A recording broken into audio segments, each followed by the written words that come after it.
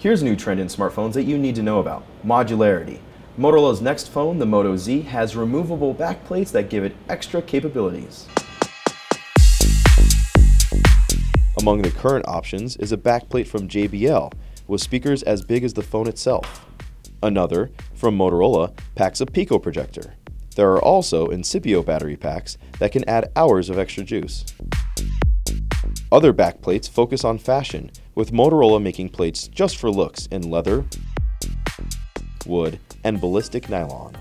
Backplates from Kate Spade and Tumi mix fashion and function, adding some style and a bit of extra battery life too.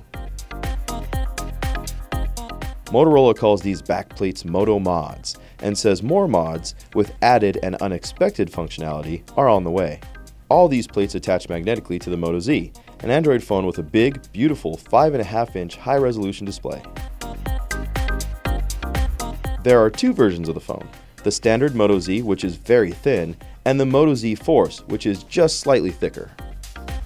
The Moto Z Force has a shatterproof display, while the regular Moto Z's display is covered in Gorilla Glass, which is found on many phones these days. The Moto Z Force also gets a bit more battery life, a promised 40 hours of normal use compared to the regular model's 30 hours.